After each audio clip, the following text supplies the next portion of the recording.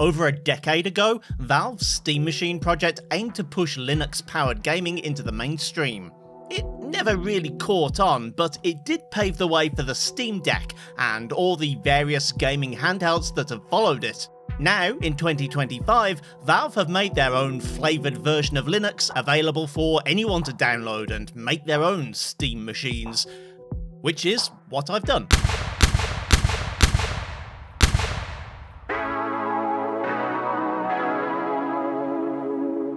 Technically, a Steam machine can be made out of any PC, but if you want to use official SteamOS and not have any compatibility problems, it helps to have hardware that's close to the Steam Deck.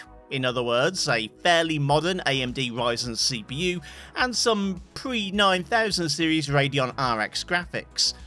While that still could be a monstrous X3D chip and a 7900 XTX, there's something about using it on a humble mini PC that just feels right. I like the idea of this as a kind of backlog buster, something for tearing through games you've been meaning to play for years but never got round to. The system I'm trying out this time is a Ryzen powered budget mini PC provided by Minisforum. The 750L Slim isn't actually all that slim, but it is a compact, lightweight system that can be easily hidden away in a drawer or cupboard and could fill the role of home server or everyday PC for light use. For this video, it's going to be playing the role of games console. The APU is pretty basic, it's running a Ryzen 5 7545U mobile chip with two full power cores and four efficient low power ones, and graphics are provided by a Radeon 740M iGPU. It's fairly capable considering the low power consumption, quiet fan, and £299 price tag, but calibrate your enthusiasm, this is still sub Steam Deck level graphics performance, and it's a couple of tiers below what we'd normally consider appropriate for a gaming PC, so I won't be asking too much of it. On the subject of setting expectations, I have a conclusion I want to share straight away. Don't, um, don't actually do this.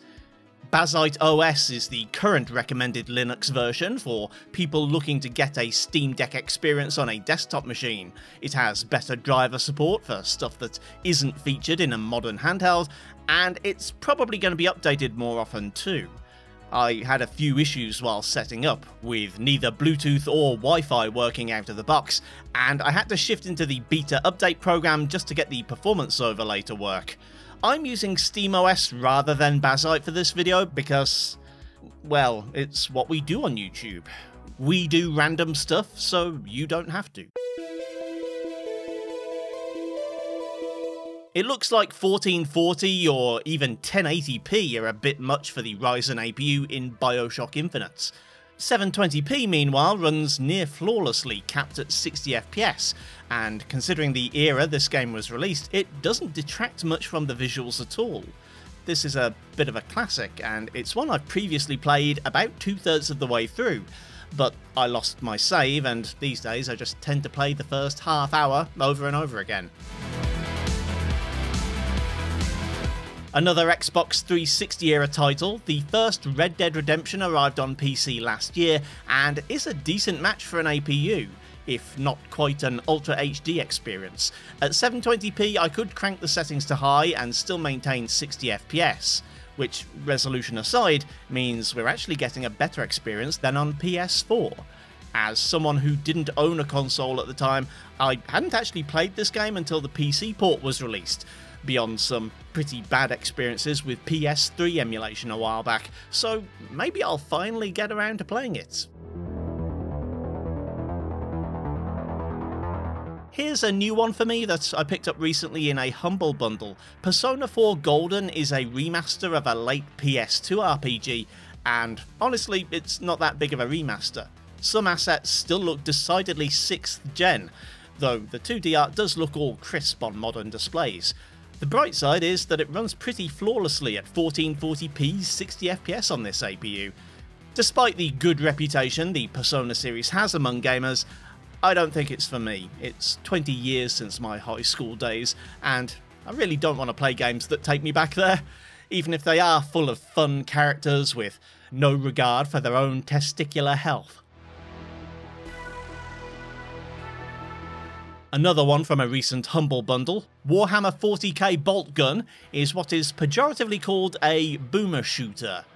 Obviously, it's a great candidate for playing on a weaker system, though console style controls aren't really a natural fit in my opinion. Also, this is one of the few games I've tested in this video that has upscaling as a built-in option, and I did briefly try it, but I don't know if it's because of the pixelated art style, but I think I prefer just running it natively in 720p. The Forgotten City is a game I heard about from video essayist Jacob Geller a few years ago, and I've been meaning to play it for ages. Originally a Skyrim mod, this first person mystery set in ancient Rome feels very much like a long series of Elder Scrolls quests, only with visuals that are a bit of a step above what Bethesda's churning out. That does all mean that 60 FPS is kind of out of the question. I didn't reduce the cap to 30 FPS, but it might be worth doing as it's only running in the 30s and 40s most of the time, even at 720p. I don't remember where I first heard buzz around The Outer Wilds, but I know SkillUp tends to wax lyrical about it. It's another one that can be deceptively heavy on a PC. I've struggled to get a flat 60 FPS on the past on even significantly more powerful iGPUs than this, so I turned quality down as well as resolution, which is particularly harmful to shadow quality, and in this weird solar system full of tiny planets and day cycles that are measured in minutes rather than hours, you see a lot of shadows. Sifu had the potential to be a top notch licensed Kung Fu Panda movie tie in, but the opportunity was missed.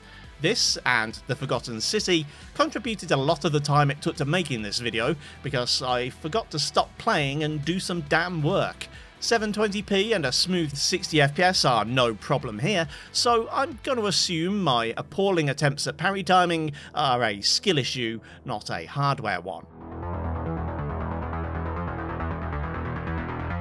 Hades 2 is, let me check, still in early access, so I guess I shouldn't really be recommending you spend your money on it.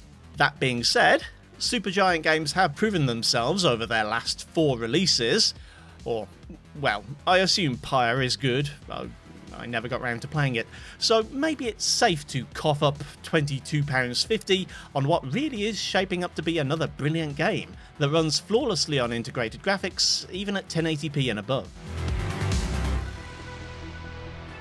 I don't know of an equivalent term to boomer shooter that would apply to Bloodstained Ritual of the Night, a Metroidvania that's very much on the Vania side of that particular portmanteau.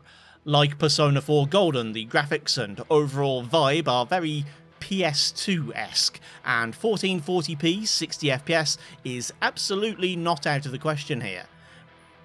Ooh, how about Metroid Senior? Night Runners is another early access game that I probably shouldn't recommend, but it's just so freaking cool. Like, is this 4K, 1080p, 480i? Who cares? Everything's hidden under a layer of neon and electro and analog VHS grime that makes stuff like resolution and image quality redundant. You start off buying a used car that stinks of cigarettes with some money you got from a shoebox, and before you know it, you're street racing to pay off a 4 million yen debt. I'm terrible at this game. I can't see what the hell I'm doing or where the hell I'm going half the time. But god, it feels great while I'm doing it.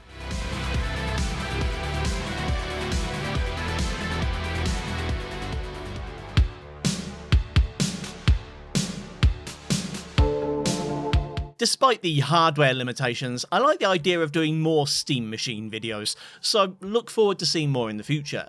Maybe featuring some more powerful hardware and probably using Bazzite. Thanks again to Minisforum for the mini PC. Check out the link below if you're interested in picking up the 750L Slim. And if you're into more premium products, why not watch this video about their weird ITX motherboard with a built-in X3D CPU?